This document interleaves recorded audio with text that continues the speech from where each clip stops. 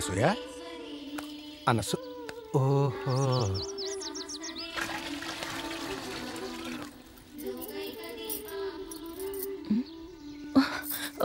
ఏమే లోపల నేను పూజ చేస్తుంటే నువ్వు ఇక్కడేం చేస్తున్నావే?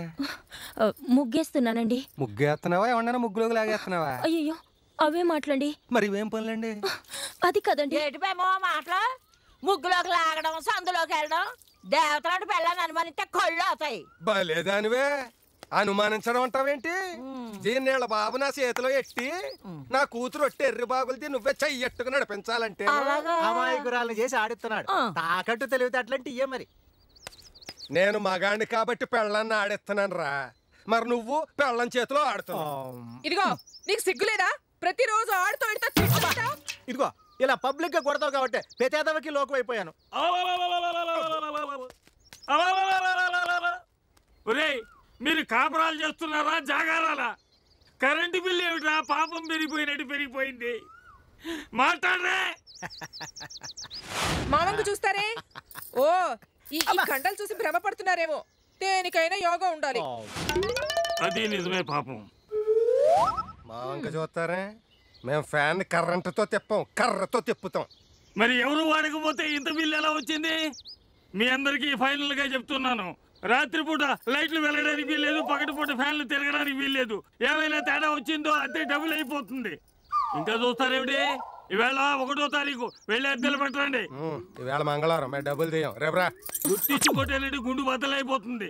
నేను ఓనర్ని. నాకు తేదీలే గాని వారాలు వర్జాలతో సంబంధం లేదు. డబ్బు తీ. రెండు మూడు నాలుగు. అయినా బాబాయ్ గారు ఒకటో తారీఖు రాగానే మమ్మల్ని ఇలా పీడించుకు తింటారు కదా. మరి ఆ పైన ఉన్న బ్యాచిలర్స్ గురించి ఎందుకు మాట్లాడరు? వాళ్ళతో ఇక మాటలు లేవమ్మా. వాళ్ళ ఇంటికి రాగానే పెట్టే పేట బయట పారేయడమే. మీరు ఎన్నైనా చెప్పండి. ఫ్యామిలీస్ మధ్య బ్యాచులర్స్ ఉంటే చాలా ఇబ్బంది. తెల్లవారడం పాపం. గోడ మీద ఒకడు ఆ బావి దగ్గర ఒకడు. సర్దుకోలేక చస్తున్నాం. నీకేమమ్మా ఆడదానివి? ఏదో ఒకటి మూతేస్తావు. మరి నా పరిస్థితి ఏమిటి? సాటి బ్యాచులర్స్ కదా అని ఇల్లు అతికిస్తే రెండు నెలల నుంచి అతి కట్టట్లేదు. ఆ, మీరు బ్యాచులర్ ఏంటండి? పెళ్ళైంది కదా. పెళ్ళం పోయింది కదా. పెళ్ళాం పోయినా అండి బ్యాచులర్ అనరు మరి ఏమంటారు? మొగుడు పోయిందని విధవ అంటారు. పెళ్ళం పోయినోడిని. ఆ, యాదవా అంటారు. ఎవడా అన్న వెధవా? నీకన్నా వెధవ ఎవడు లేడు. నీకు పెళ్ళం ఉండి ఒకటే నాకు లేక ఒకటే. వెధవ. అన్నారు వెధవ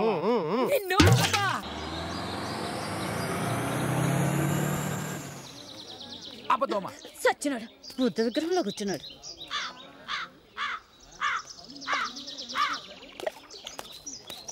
అబ్బా చి చి చి చి చి చి చి. ఏదో బతుకు. చదువుకున్న వాళ్ళంటే రెస్పెక్ట్ లేకుండా పోయింది. ఏమైందిరా?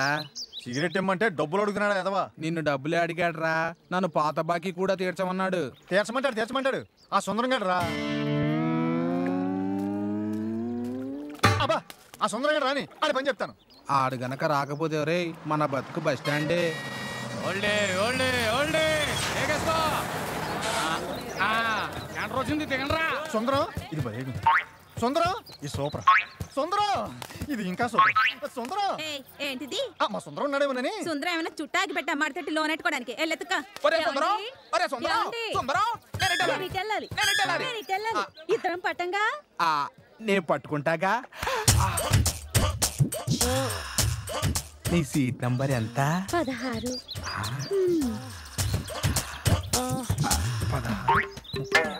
పదహారు ముప్పై ఆరు.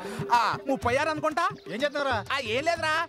చిన్న డౌట్ వస్తే క్లారిఫికేషన్ చేసుకుంటున్నా. కండక్టర్ గారు సరుకులతో పాటు శాలరీలు కూడా వచ్చేస్తున్నాయండి బాబు. ఎవరు ఆయన నువ్వు? నా పేరు సుందరం అండి. ఈ ఊరు సొసైటీ ఆఫీస్లో గుమాస్తాగా పనిచేయడం కోసం వచ్చాను. సొసైటీలో పనిచేసేవాడు ఈ సరుకుల మధ్య దొంగడం అంటే అసహ్యంగా. సుందరం? అన్నయ్యలు! సుందరం!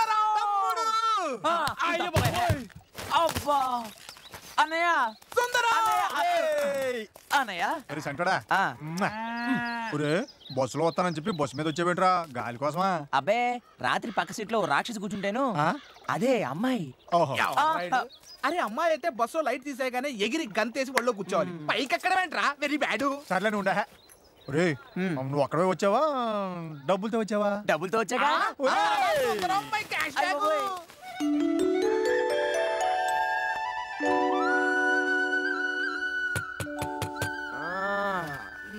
తిరుపతి చూడరా.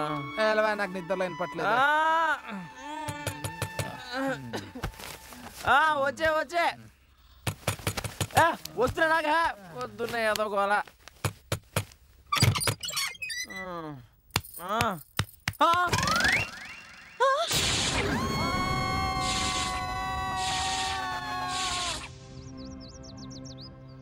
నేను ముందే చెప్పాను కదండి మా వాడికి లేడీస్ అంటే పడదని. నీ విధవ మొహాలంటే నాకు పడదు భరించట్లేదు. ఆ, మాది కూడా సేమ్ ప్రాబ్లమ్. ఇదిగో సుందరం పెళ్ళి అయినాక ఆడదానికి భయపడ్డావంటే దెర్ ఈజ్ ఎ మీనింగ్ పెళ్ళి కాకుండా ఆడదానికి భయపడ్డా ఏమిటయ్యా? ఇదిగో ఆ, అమ్మో లేడీస్ ఆ లేడీసు లేడీసు చేసేదంతా చేసేసి ఇప్పుడు నాటకాలు ఒకటి. లేడీస్ లేడీస్ అని బెదిరిపోతున్నాడు బాబు? ఆ లేడీసే లేకపోతే రేపు ఫ్యామిలీస్ ఎలా చేస్తా చూస్తాను. రండి రండి. సుందరం నీ మంచిగా చెప్తున్నా. ఎందుకైనా మంచిది ఒక్కసారి డాక్టర్ చూయించుకో.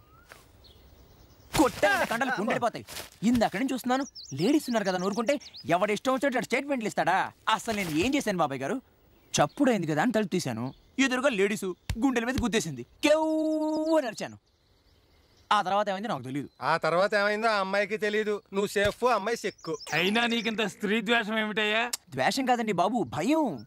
ఆడదాని వల్ల రాజ్యాలే కూలిపోయాయి. అసలు ఈ రామాయణం జరగడానికి కారణం ఎవరు? రావణాసురుడు. ఎవడు చెప్పాడు?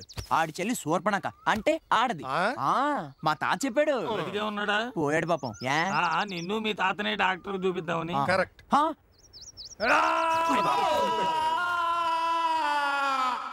అంటే అమలాపురం. ఈ అంటే ఇచ్చాపురం. ఒరే ఒరే ఒరే ఓరి మీ అమ్మ కడుపులు బంగారం గాను.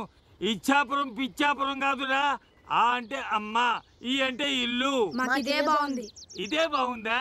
ఇలాగే పనికి మాలిన పాటలు నేర్చుకుంటే ఒరే వీరబాబు. ఏంటి అదిగో ఆ వెధవలా తయారవుతావు. అంచేత? పొద్దున్నే పరువు తీసేశాడు! ఏమైందిరా? ఏమంటావు ఏంటి మరి ఎర్రల క్యారఫ్ అడ్రస్ అయిపోయింది మన బతుకు. ఏ అడ్రస్ లేకపోవడానికన్నా ఏదో ఒకటి ఉండడం మంచిదే కదా. అది కరెక్టేలే ఓ ఆ, అనయ్య ఏంటి నాన్న? ఆఫీస్కి వెళ్ళొస్తాను. ఆ, ఆ? జాగ్రత్తగా వెళ్ళరా నాన్న? ఆ. తమ్ముడు? పిలిచావా అనయ్య? ఆ, ఫస్ట్ టైం ఆఫీస్కి వెళ్తున్నావు కదా. డబ్బులు ఏమైనా కావాలా? పర్లేదు ఉన్నాయిలే. అయితే ఉంది. ఆ? ఆ, అంటే వందే ఉన్నాయి. చాలే చదువుకుంటా వెళ్ళిరా ఆ? కాలువ గట్ల మీద జాగ్రత్తగా వెళ్ళినానా వెళ్ళి టైం అయింది వెళ్ళు వెళ్ళు గుడ్ల గోపల్లాగా చూపేమిట్రా చెప్పండి పాఠం. ఆ బాబాయ్ గారు ఆఫీస్కి వెళ్ళొస్తాను. దీవించండి. ఆఫీస్కి వెళ్ళి వస్తావా ఆ. ఎంతో శుభవార్త చెప్పావు నాయన. వెళ్ళిరా. ఇవాళ ఈ ముసలోడు నా చేతిలో అయిపోయాడు రా అయిపోయాడు. ఆ, ఏంటే? నీ బతుకులో ఎప్పుడైనా బయటికి వెళ్ళొస్తామని చెప్పారా? ఆ నిద్రపోతున్న గాడిదను లేపు తండించుకోవడం ఎందుకని? ఈ ముసలోడితో చాలా న్యూసెన్స్ అయిపోయిందిరా. ఓ మంచి టైం చూసుకొని నేను నిరికిచ్చేయాలి